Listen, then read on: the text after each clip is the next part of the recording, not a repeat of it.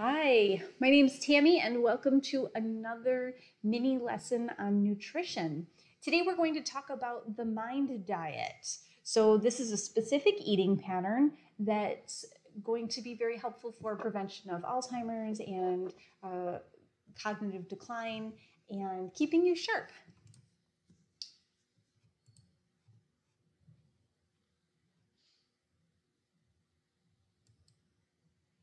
All right, so let's start with a little quiz. Check your memory right off the bat. Did you know that foods that you eat can actually improve your memory? Did you know that certain eating patterns are preventative for Alzheimer's? Did you know that you can boost your memory with what you eat? And are you aware that some eating patterns are actually harmful to your memory? So, what exactly is the MIND diet? So the MIND diet takes elements of the Mediterranean diet and combines them with the DASH diet. Both of the Mediterranean diet and the DASH diet have been around and recommended by physicians for decades. So we know that they're very beneficial. Now, the MIND diet takes the best pieces of those and targets your uh, your memory, your cognitive function, you know, basically how your mind is performing, and it takes the elements of that and combines it for this Mediterranean DASH intervention for neurodegenerative delay.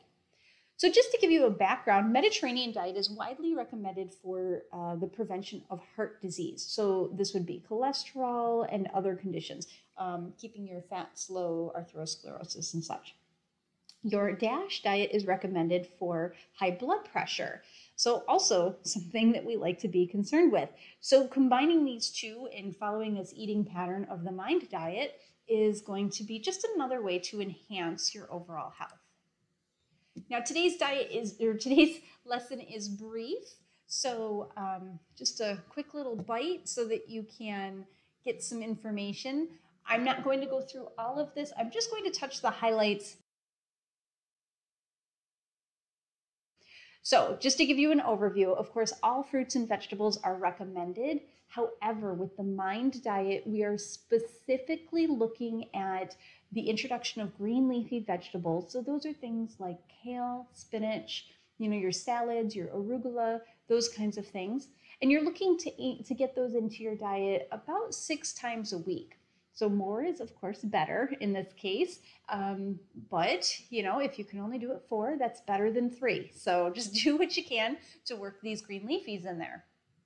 Berries are another food of interest for the mind diet and trying to work berries in twice a week. So what we're looking for are bright colors here, high fiber, bright colored berries. So strawberries, blueberries, raspberries, anything in that purple, blue, red spectrum there, those are super beneficial for antioxidants.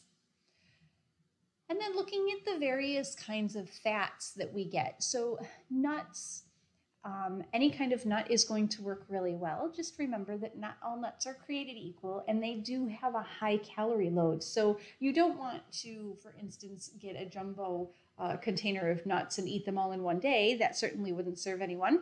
But you know, to add in a few, a serving a day, which would be about about 20, we'll call it 20 almonds or a quarter of a cup of nuts, uh, would certainly be a great way to boost your mind health. Um, olive oil is another fat. We prefer this when we are cooking over things like butter or lard or any of those.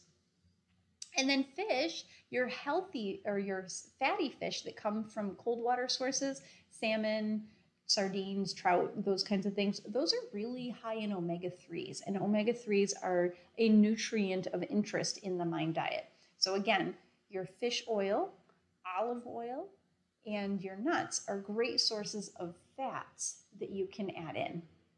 And then we have whole grains and beans.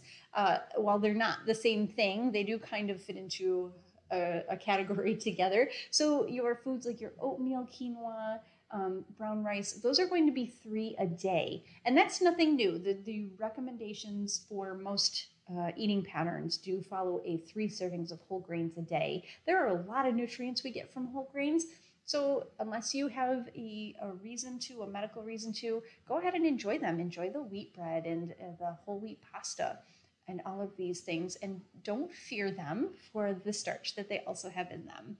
You just watch your portion.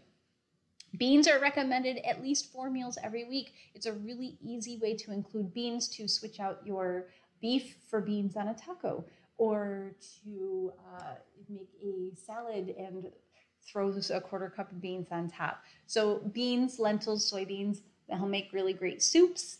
You could put them in there and enjoy them, you know, four or five times a week. Um, and then now, both the Mediterranean diet and the DASH diet, as well as the MIND diet, because obviously it's the combination. Many diets are actually recommending less and less in the animal protein category. So your meats, right?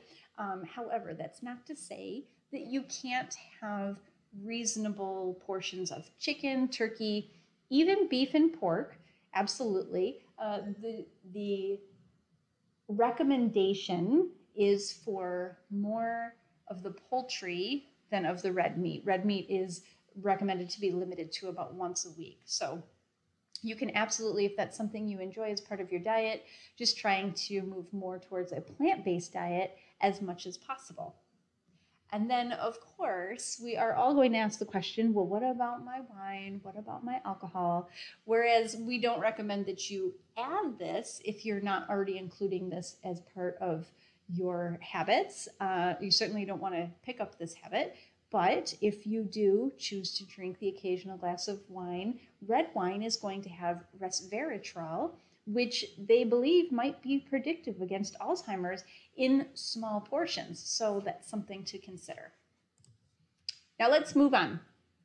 Keep your mind nourished, right? So there are some things that we don't want to include, some things that are not helpful to your um, to your waistline for sure, your heart health, absolutely, but also seem to be uh, responsible for brain fog, for um, maybe promoting Alzheimer's or dementia. So there, you want to be really careful. And these are things that we're all familiar with.